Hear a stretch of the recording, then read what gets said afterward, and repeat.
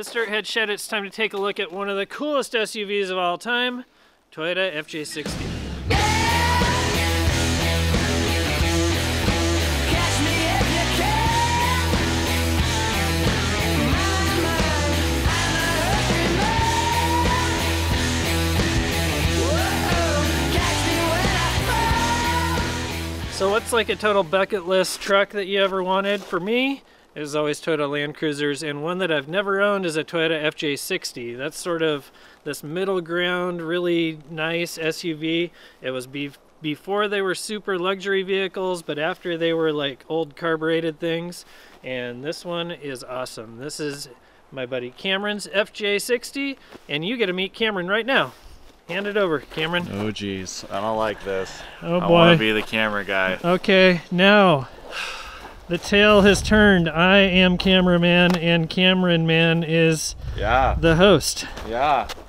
Well, yeah, this is my 1987 uh, Toyota FJ60 Land Cruiser. Um, pretty cool from the standpoint. I bought this from a friend of mine.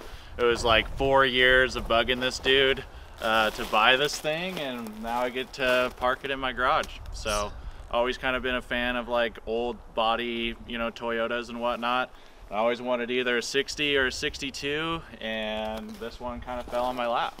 This thing's rad. I have had a, an I have had an FJ55 that was kind of a crummy old turd, and then I had an FJ80 that I really loved. And what I always wanted was the thing that was in between the two, and this is it. Some of the coolest things I think about this middle series Land Cruiser is the boxy look of it, but it's kind of it's still classic looking and boxy but these things came factory with fuel injection. They came with a straight six engine. They ran great. You get them with a five speed transmission. It was sort of like that like coming out of being i don't know old school infancy toyota stuff to being what they are today. I mean you got classic body lines going on here but you also have freaking headlight squirters.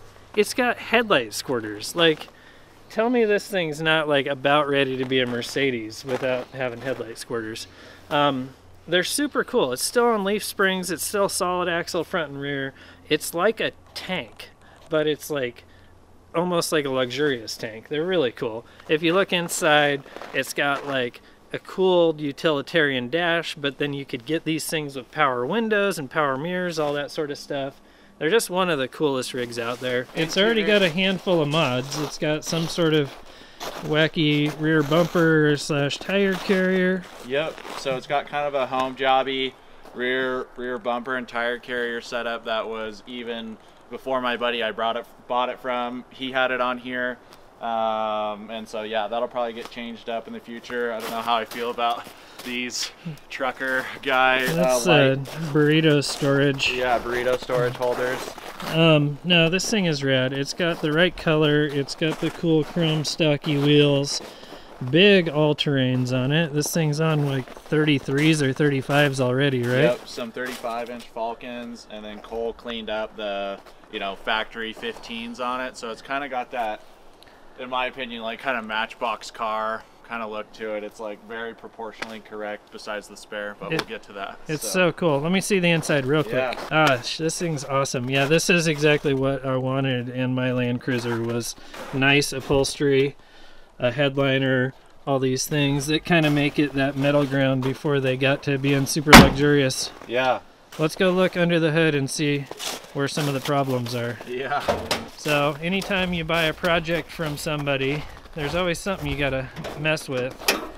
And on this one, not that it's a bad thing, but it's got a small block Chevy under the hood. yeah. I'll drive. I'll drive for a sec. Hey, I'm back. I am not very good on the other side of that camera. Not very good on this side either, but so this thing has a small block Chevy in it, which is rad. It's like a 350 Chevy, and this was super common swap back in the day. You used to actually be able to get like a bell housing adapter and put this right in front of your Toyota transmission transfer case. This one actually has a turbo 350 in it though, and a 203 transfer case. So there's a little bit of room for improvement on that. And when Cameron showed up, it wouldn't start. He got here, and then we had to come in the backyard here, and the thing wouldn't start. So It's got a few issues with the carburetor that we're going to deal with. It's got a few issues with timing. Um, other than that, it's pretty solid. Like this thing's killer. It's got good parts. It's got good, um, like a good radiator in it and stuff. And Cameron really wants this thing so that he can like drive it down the coast of California and go surfing along the way. And if that's gonna happen, then it needs a few more upgrades because if it can't like get to my backyard here in Washington, it's probably not gonna be very reliable going down to Baja California. Yeah, so hopefully you'll be able to help me get this thing rocking and rolling because I'm used to being a camera guy, Yeah, not a mechanic. you're good at everything though. no, stop it. Cameron is like super extreme friend. He does like mountain biking and rides dirt bikes and snowmobiles.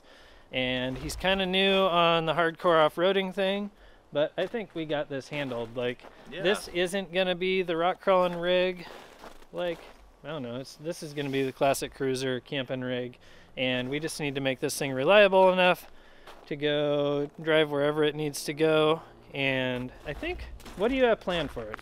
Yeah, so like first thing, like it just definitely has some odds and ends and whatnot that needs, you know, the exhaust has got leaks, it rattles, you know, the rear bumper swing out's kind of broken on it. Um, yeah, and kind of like back to what Dave was saying, this isn't going to be like a hardcore rock crawler. It's going to crush dirt roads, and if there's a couple, you know, gatekeeper obstacles, um, you So know, cool. to get into a camp spot, sweet. But for the most part, I just want to have a cool rig. I can go camping with my wife and my doggos, um, and I guess do it in good style too. So, um, I don't know, Dave. What are we doing first? I think we're doing something up here. I'm back. Yep, we are going to we're going to swap out the front bumper on this thing. We're going to put some better headlights in it. We're going to put some off-road lights on it and probably put a winch because if you watch this episode coming up, we tried to go just like light duty snow wheeling and we ended up breaking out all the winches. So Yep. if we're going to go wheeling in the snow in the Pacific Northwest, you got to have that up on front. So Yep. this thing is due for a bunch of cool upgrades. It's gonna be stage one or stage one will be a bumper, winch, lights, cooling stuff, um, and then we're gonna get into making this thing more reliable. Probably a bunch of work under the hood, and I guess if Cameron here stays interested in it long enough, oh, she's Well- not going anywhere. all right, we'll see how far we can take this thing. When I